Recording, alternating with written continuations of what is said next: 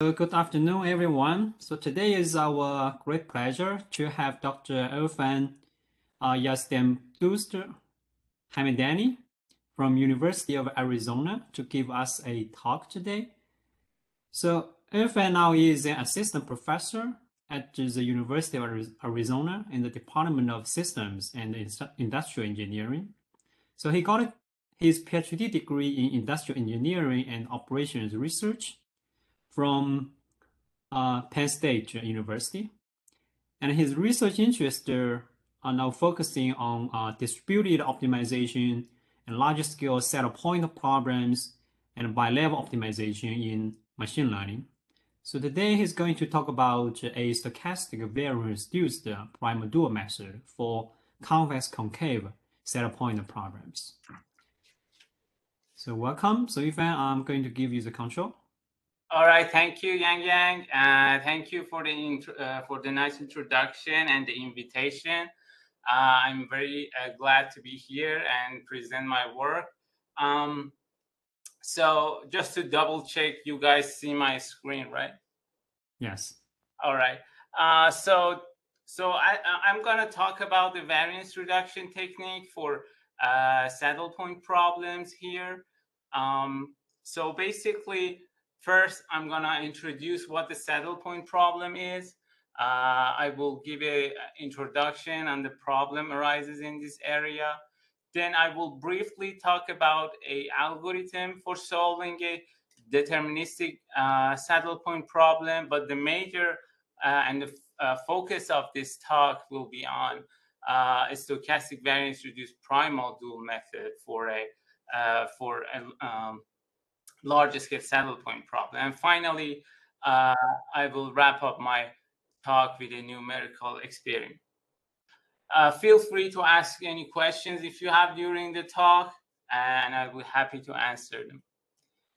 So let's see what is a saddle point problem. So here uh, we have a min-max structure. In the objective, we have a payoff function that couples two decision variables x and y we would like to minimize in one of them x and maximize in the other one. So a pair of solution x star and y star is called a saddle point solution if it satisfies these two inequalities in a sense uh, if you fix a y solution x star should be the minimizer and if you fix uh, x star the solution y star has to be min, uh, maximizer of the problem but the focus of this talk will be on convex concave saddle point problem. You see an example on the right. Uh, you see this surface is representing this uh, non-bilinear function, and this red dot represent the saddle point solution of this uh, problem. So convex concave means that if we fix our decision variable uh, y and looking into our uh, function from x perspective, it looks like a convex function. And if we fix x and looking into the function from y's perspective, it looks like a concave function. Here we want to introduce an algorithm to solve these type of problems. So we need to find an epsilon solution and we need to introduce a gap. So um, for example, in a minimization problem, a suboptimality is usually a uh, standard gap that uh, researchers use. Here, because we have a min-max structure, we need a special type of uh, gap function uh, which which considers this difference uh, between the, the objective function evaluated at x bar and y bar. If x bar and y bar is the pair of uh, point that we are interested in. Then we need to take the supremum uh, over uh, all the x and y's. And if it's less than or equal to epsilon, it means that we are uh, close to this, uh, epsilon close to the solution in that sense. What are the uh, type of problems and examples that can be fit into our uh, for, to this structure? So consider a support vector machine problem. So let's say we have a bunch of uh, data points which are which have uh, AIs, and they are actually the features. Uh, the and each of them has a label BI. Then uh, the problem that we are interested in is to classify these uh, data points. We want to construct a hyperplane characterized by this vector W that separates a data point. But uh, we allow for some uh, errors that uh, you can see here. Some of the red dots on, on the other side and the blue dot may be on the other side. But we would like to minimize such errors. And we also, so this uh, problem is called the soft margin problem. Uh, and we would like to minimize these type of errors that we see as well as maximizing this margin. This margin is uh, can be calculated as 2 over the norm of W. Therefore, maximizing the margin means minimizing the norm of W, which you see in the objective function. And these constraints basically represent uh, that each of these data points has to be in either the right side of the hyperplane or the left side, depending on their labels. So the, uh, here, um, but this can be get uh, even more complicated if uh, the data points are clustered. So for example, in this case, you see that uh, blue uh, pluses are clustered in the middle and we have the red circles around them. So uh, we cannot construct a hyperplane that separate these data points, uh, but and we need a nonlinear classifier. That's uh, that's called a nonlinear classification. Here, the idea is to move these data points into a higher dimensional space uh, using a feature map phi. And then in the higher dimension, we can construct a hyperplane there. And then we project it back to the original one to get a nonlinear uh, classifier. So the problem is pretty much similar to the regular uh, linear SVM, except here we want to uh, construct this hyperplane in the higher dimension where the data points have been evaluated using this feature map. So usually uh, the way that uh, SVM is solved is by looking into the dual of SVM and then um, the dual is solved. So if you consider the dual of this uh, SV, uh, for this problem, then uh, you you will see that it, we will come up with an inner product between these uh, map functions. The issue here is that for this type of problem, uh, the, finding the actual feature function might be difficult. Therefore, uh, people are interested in uh, constructing this uh, inner product and uh, therefore estimating the inner product might be easier. And if you look at the uh, inner product for each of these data points for this uh, feature map, you can put them in a matrix and that matrix is called the kernel matrix. Then the problem uh, becomes a saddle point problem if you ignore this minimization, we are essentially this, this maximization is representing the dual SVM for a fixed uh, kernel matrix. And now here we want to minimize with respect to also this kernel matrix uh, that and this maximization can represent a loss here. So here you see we will have a, a min max structure in this problem, and it's an example saddle point problem. Another uh, example is a multi-channel power allocation problem. Let's say we have n Gaussian communication channels, and um, so we have a signal power PI. We would like to inc uh, increase the capacity of our channels but there is also an adversary that tries to minimize it. An adversary can also pick uh, the um, this interference signal power QI. This capacity channel uh, using the Shannon-Hartley equation is represented by this logarithmic function, where beta is the bandwidth, sigma is the receiver noise, pi is our signal power, and qi is the adversary power.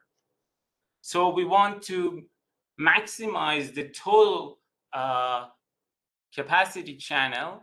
Uh, that's what uh, the primary uh, that that's the primary goal, and there is also an adversary that tries to minimize this.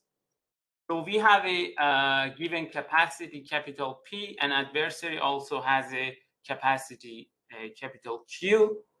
So the objective here will be summation of all these uh, functions, uh, all these logarithmic functions. We are maximizing the total capacity with respect to uh, power P. And uh, so you can think of it also as a two-player game, zero-sum game, where one player tries to maximize the payoff, the other one tries to minimize it. Um, and another thing here is that um, basically this is this function is a non-bilinear function and it is convex concave. If you look if you fix uh, q the function is concave in p. If you fix p it is concave in q. So let's look at another example in uh, data science. So uh, let's say we have a, a, loss function and we have some uh, data points. We are interested in finding a robust solution. Then the goal is to minimize uh, the worst case scenario, in which case we would like to consider the worst expected loss and uh, with respect to this probability measure P. And this probability measure P can be in an ambiguity set. Uh, so U here represent our ambiguity set of uh, probability measure. A special case of this scenario where we have a finite number of uh, samples and uh, and if we say let's say call this ambiguity set to be uh, uh, represented by a divergence measure V, where this divergence measure is basically uh, measures the uh, divergence between two set of probability measures. For example, here we are looking for an unknown uh, probability measure represented by y, and this is the uniform distribution. Then this problem can be represented as a saddle point problem, uh, where the objective is the inner product between uh, the, your decision variable y and your loss function evaluated at each data. So, um, so as you can see, this, uh, if I want to be specific, this ambiguity, a special case ambiguity that I've considered here uh, is difficult to project in. So one can uh, use another decision variable to relax it I will get back into it for the numerical experiment for solving this type of problem. But overall, the uh, point is that among these examples, you see that uh, how this saddle point structure can arise. And another important uh, point here is that this summation, uh, this objective function can be represented as a large summation of functions and this n could be very large. And if it's very extremely large, uh, evaluating the gradient, for example, uh, for the purpose of solving the problem can be difficult. And what one may, need to uh, estimate that. So we are interested in type of problem where in uh, objective, uh, this summation is very large. But before that, I just first want to introduce this uh, primal dual uh, algorithm for convex concave saddle point problem. And then I will uh, talk about this variance reduction technique for a finite sum uh, structure. Any questions so far? Okay. So I, I, I have a question for your second example. Yes. So you have the adverse adversary things, right? Right. Does it make sense if, uh, say, one adversary interfere multiple signals? So it looks like here you have this one-to-one correspondence, right? Right. Um, yeah, it could be. Uh, are you saying that one adversary will? Uh, we have one adversary as and and there are like n uh, primary uh, signals. Yeah. So Yeah. so for for for for your um model, somehow you assume you have the same number of signals and uh, Right. adversaries, right? Yes, that's right. Actually, so it could be uh, different. That, so here we consider a very uh, simple scenario, a special structure, just uh, to show how this problem can arise. But I've seen more complicated structures here, uh, and there could be some interaction between different uh, I and J, uh, different uh, actually adversaries versus the primaries.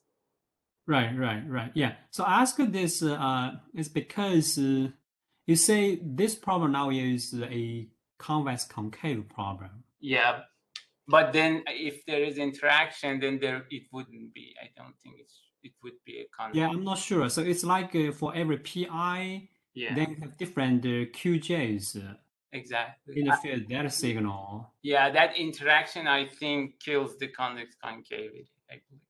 Yeah, it could be. I'm not sure. Yeah, that that requires a double checking, but Uh-huh. it's not immediate if it's convex concave. Okay. Yeah, thanks. Yeah. So um, let's uh, talk about this uh, problem that uh, we consider here. So let's give the objective function a structure. Uh, so here we have uh, f of x and h of y. These are convex functions. Um, and um, this phi function uh, couples the, our decision variables. f and h could be non-smooth, but we assume that the proximal map of them are easy to compute. Phi we assume to be convex concave, and uh, we assume some differentiability here of, on these functions. So if you consider the partial gradient of phi with respect to x, uh, then it is uh, this gradient is Lipschitz with respect to the, this uh, uh, decision variable x when you fi- fix y. And if you look into the partial gradient with respect to y, the gradient is also Lipschitz continuous, and the constances, depending on fixing one or the other, uh, will be Lyy and Lyx. Uh, so a generic example that can fit into uh, this type of problem and is pretty uh, important class of prob optimization problem is the convex constraint, the conic con uh, convex constraint optimization, uh, where we want to minimize a function f subject to a conic constraint. So here f is convex, g is uh, k convex is convex with respect to the cone k, and Lipschitz continuous, and uh, its Jacobian is also Lipschitz continuous. K is a closed convex cone, and if you use the Lagrangian uh, function and duality, you can write an equivalent uh, saddle point formulation for this problem, as you can see here. And here you see the uh, inner product between our nonlinear constraint function and the dual decision variable y, which uh, construct our um, uh, the coupling function actually that we talked about in the saddle point structure. Um, so now let's talk about uh, an idea of solving it, solving these type of problems. So if, uh, as you may know, if you have a minimization problem of a function, uh, of an objective function, the basic idea is to use a gradient descent.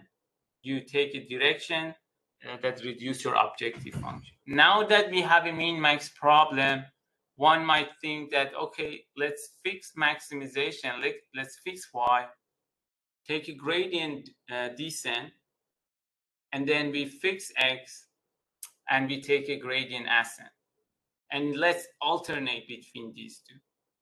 And that will give a rise to the gradient descent ascent algorithm. Uh, so uh, this is a uh, this is a proximal version of that. So here we are taking a proximal gradient ascent, and then here we are taking a proximal gradient descent. Sigma k is the uh, a step size for y, and tau k is a step size for our uh, for the x decision variable. And d here represent the Bregman distance function, which you can think of it as a generalization of the Euclidean norm, which we assume to be one is strongly convex. Um, so it turns out that this uh, algorithm doesn't work well uh, for convex concave problem in uh, especially in practice. So even for a very simple scenario of a two-dimensional problem, the trajectory of solution oscillates and doesn't converge to the optimal one. So in order to resolve this issue, we came up with an accelerated uh, primal dual method by adding a uh, momentum in terms of the gradient uh, for updating our uh, decision y, and x will use the most recent update of y. So basically, if you want to see the algorithm, it looks like this one. So here we still in the second step, we are taking a uh, gradient, uh, proximal gradient descent, but our direction is now have an extra momentum in terms of the gradient of y. And in x, we are using the most updated uh, version of our uh, decision variable y. So here, uh, uh, with this algorithm, we were actually able to prove uh, and guarantee some convergence result, which turned out later to be an uh, optimal one because it matches the lower bound complexity. And another issue in the uh, first order methods is that uh, these step sizes usually depends on the problems, the problem parameters like the Lipschitz constants, but um, in this case, uh, we also came up with a backtracking line search uh, method for these uh, algorithms, where the step sizes can be updated uh, adaptively using uh, the property of local Lipschitz constants. So we were able to show that our uh, that our iterates will converge to the solution and the gap, uh, our gap function diminishes at the rate of 1 over k uh, if capital K is the uh, total number of iterations. Uh, if our objective is strongly convex in X, uh, then we showed that this rate can be improved to 1 over k squared uh, and assuming that our Bregman distance for x uh, is Euclidean. So this was a uh, joint work with my advisor, which was published in uh, SIAM Journal of Optimization. And our work here uh, was uh, provides an improvement uh, on on the existing methods. Uh, basically we were obtained a uh, 1 over k square rate result for a simple one loop algorithm uh, with a backtracking line search for the first time. Um, which you see here uh, the other work that has been done uh, in this area but uh, now let's talk about the variance reduced uh, accelerated method uh, that, that is the focus of our talk here today. So let's consider the same uh, problem structure, except now we assume that the, uh, this coupling function that we have is now a large sum of the component functions phi. So here our phi function is the uh, actually average of uh, these phi functions, and n could be very large. So here we have the same assumption. We assume that phi is convex concave. We don't need to assume each phi to be convex concave, but we need to assume that each phi is a smooth. Uh, so it's essentially continuously differentiable, uh, and we have these Lipschitz constants for each of these phi's. But before talking about how sh we should tackle this large sum, let's uh, go over a quick background on finite sum optimization problem. So finite sum optimization problem is a very important uh, structure arises in data science uh, where you want to minimize the function uh, that is comprises of n component is a summation of n components. So one idea is to use a gradient descent. It means that at each iteration, you need to use your uh, the whole objective function to calculate the gradient. But this might be costly uh, and difficult to calculate. So one may consider sampling one, and that uh, sampling is actually if it's uh, can be an is an unbiased estimator of the gradient and uh, we can uh, it is called the stochastic gradient descent at the very basic level you need to pick an index uh, or a batch or a small batch uniformly and random and calculate the gradient uh, of those uh, samples only.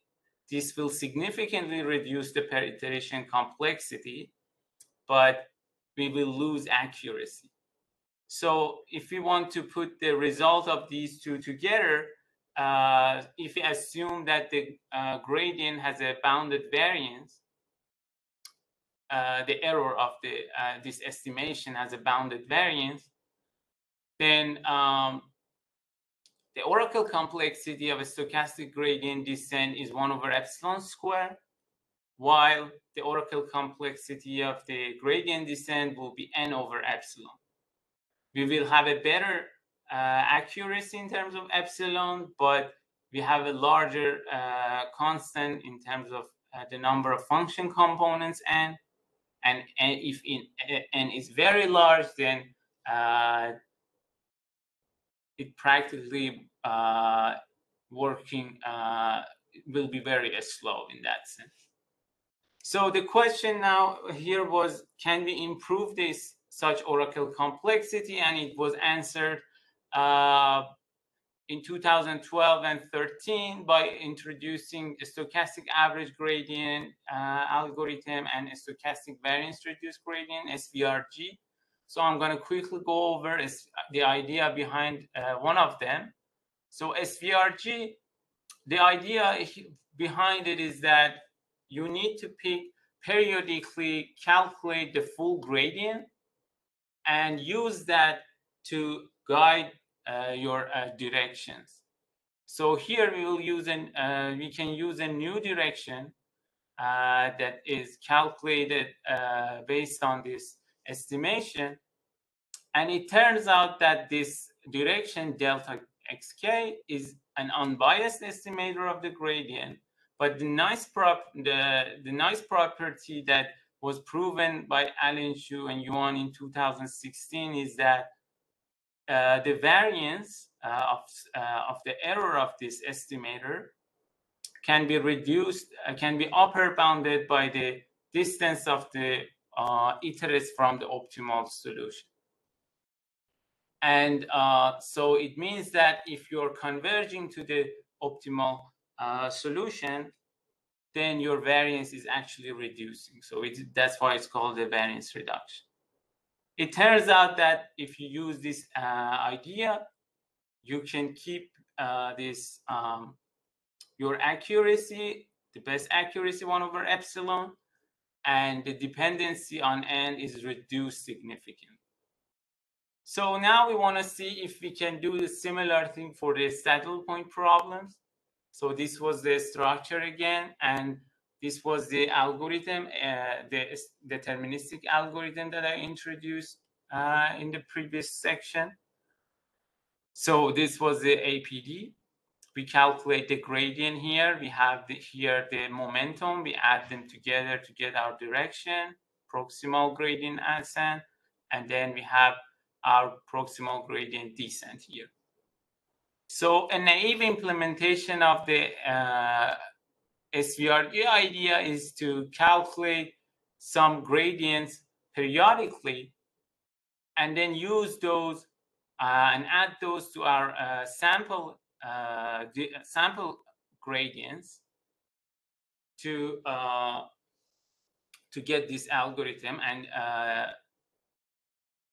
uh, to show the convergence. But the challenge that we faced here was that first of all, these estimation of k-CT and zeta t when we added these new uh, terms uh, from the uh, for the stochastic approximation is, still an unbiased estimator, which is nice.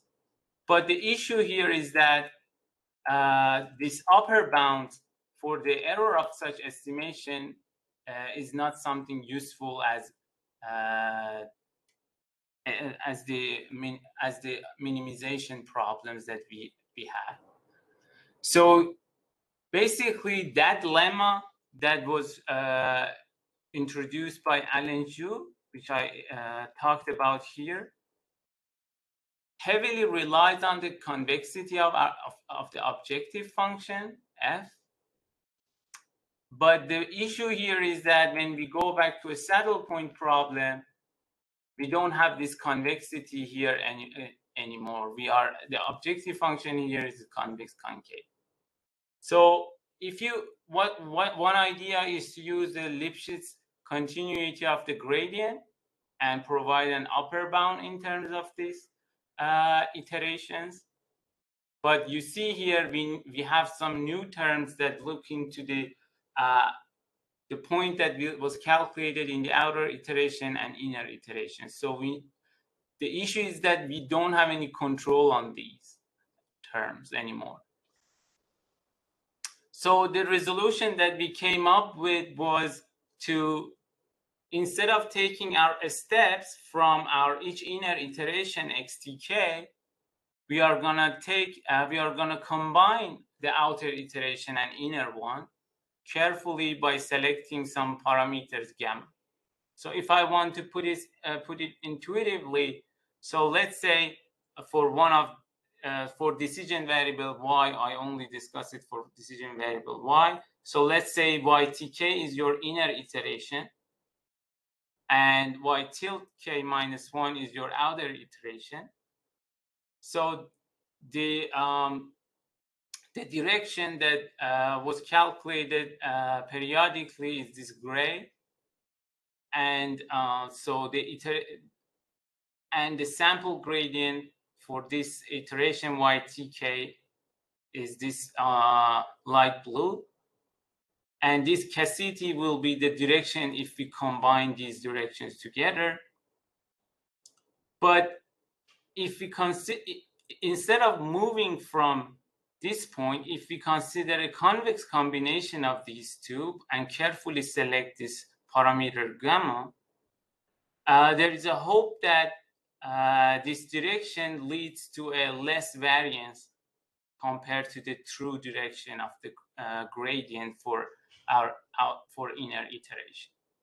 So we hope that by selecting this parameter gamma carefully, we can reduce this uh, variance. And actually, it means that we can control these uh, terms now uh, using this idea. So now here is uh, the steps of this uh, algorithm. If we want to put the pieces together, so at first we are gonna periodically compute the full gradient in the outer iterations that then in the inner iterations once we randomly select a sample we are going to take a uh, halfway step let's call it a halfway um, and then here Kc will uh, be our gradient estimation using this uh, full gradient that we already calculated. Q will be our uh, momentum step. We combine this together, but we are taking our step from y hat, which is was the meet uh, was the uh, convex combination that we calculate. We do the similar thing for the uh, for x.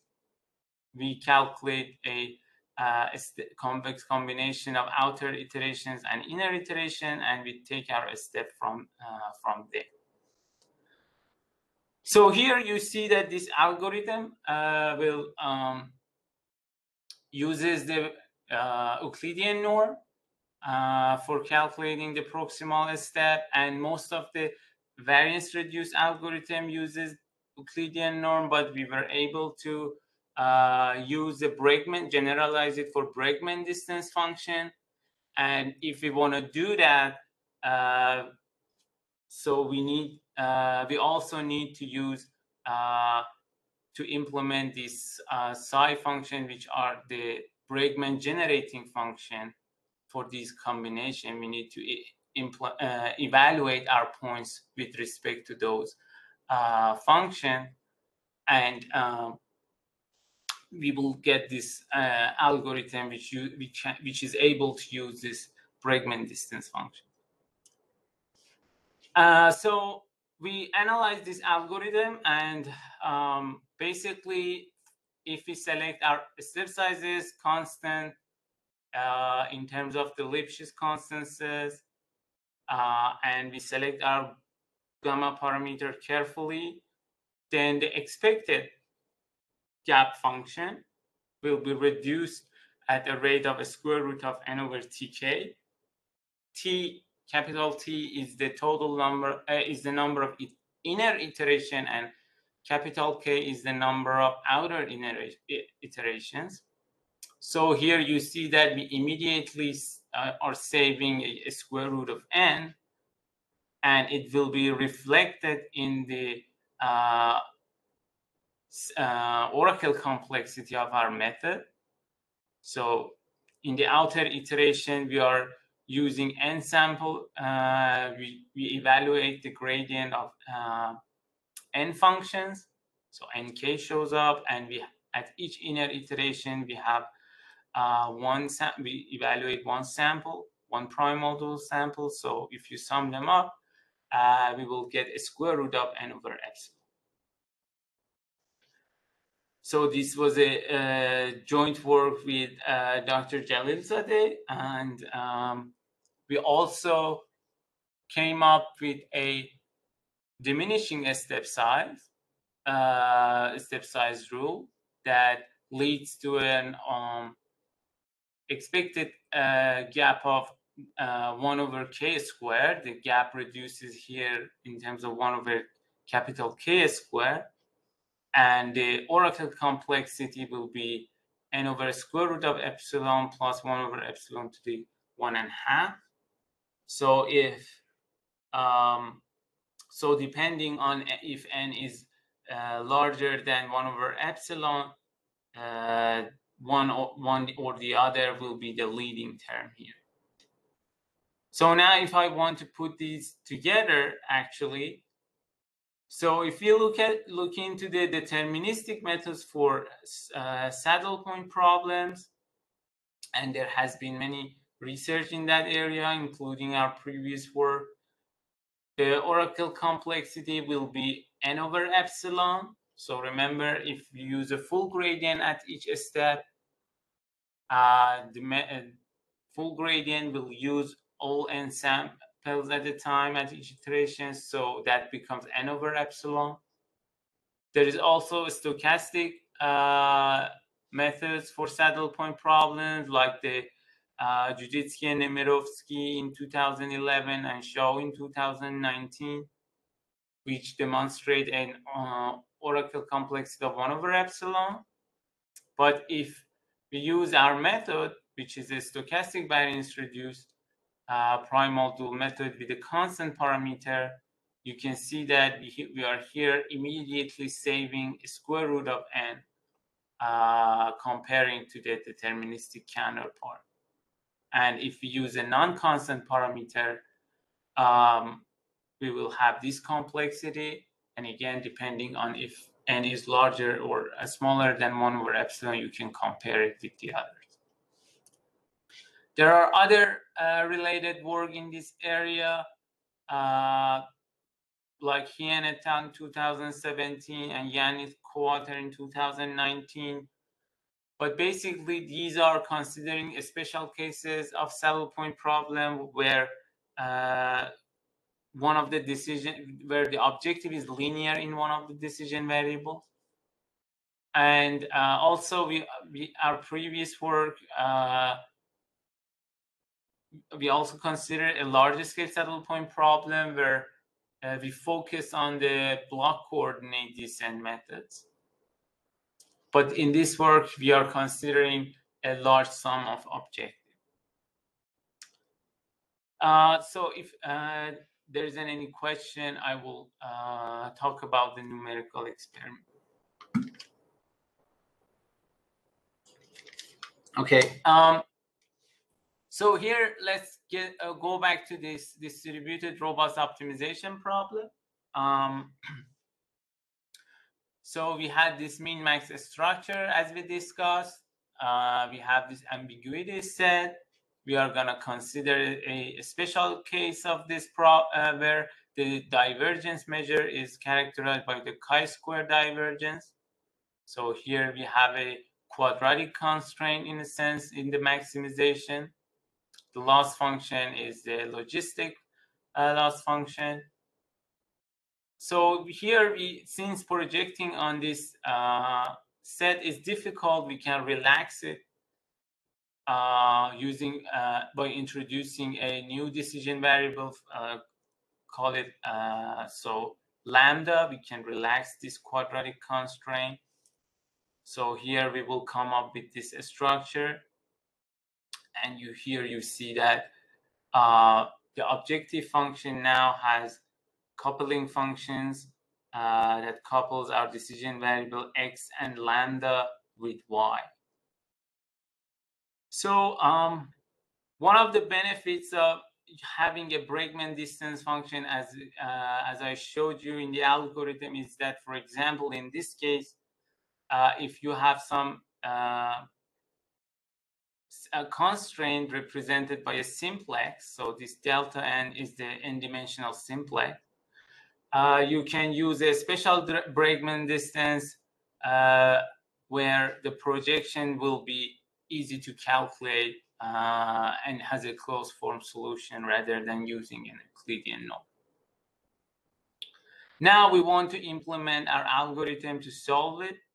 Uh, so we use different data sets with uh, different sizes. So here we have a data set uh, with 8,000 uh, features uh, with uh, so 8,000 uh, data points. Each has a 112 features. So this plot is in terms of time. And here the pink line is uh, our deterministic algorithm. The green one is a stochastic mirror prox. The red one is a stochastic mirror descent. Uh, the blue one is our algorithm using uh, non-constant step size, and the black one is our algorithm using uh, constant step size. So here you see that our algorithm performs better. Now we increase the uh, sample size, uh, the data points to 11,000. And the benefits of our, our algorithm is, um, uh, is now more significant. And even if we go to a 16,000 uh, data points, uh, you see the difference here.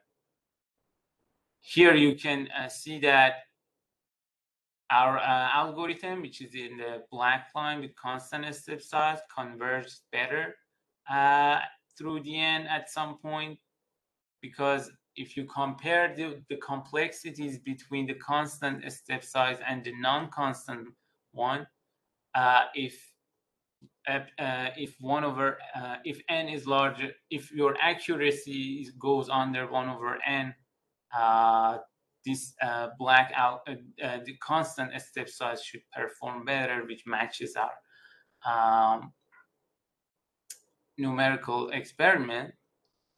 And you see here, uh, these are the stochastic uh, algorithms uh, with 1 over epsilon square complexity and the deterministic one with n over epsilon. so this uh, experiment shows that when the number of data points which corresponds to the number of functions in the objective is very large, then uh, this algorithm can benefit from uh, using the, the variance reduction technique. So uh, thank you for your attention. These are uh, the related papers if you are interested in the details of those. So the first one is our uh, primal dual method with line search for saddle point problem, the deterministic one, and this uh, the second one is our variance reduction technique. Any questions? Okay, thanks uh, uh, for the nice talk.